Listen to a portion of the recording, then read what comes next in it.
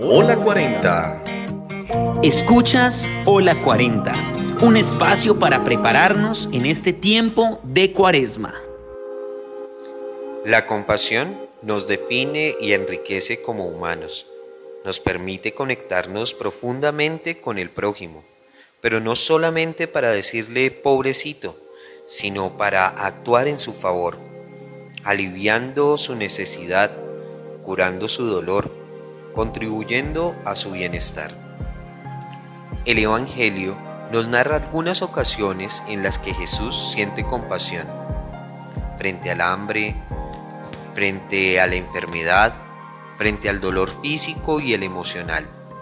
El Señor se moviliza, como en el capítulo 15 del Evangelio de Mateo, en donde Él mismo dice, tengo compasión de la multitud porque no tienen qué comer. Entonces Él mismo los alimenta. Su ejemplo nos inspira en este tiempo de cuaresma, que la limosna sea el resultado de una oración en la que las realidades de nuestro prójimo nos mueven a ayunar de nuestra comodidad y ponernos en acción por su bienestar en una verdadera compasión cristiana.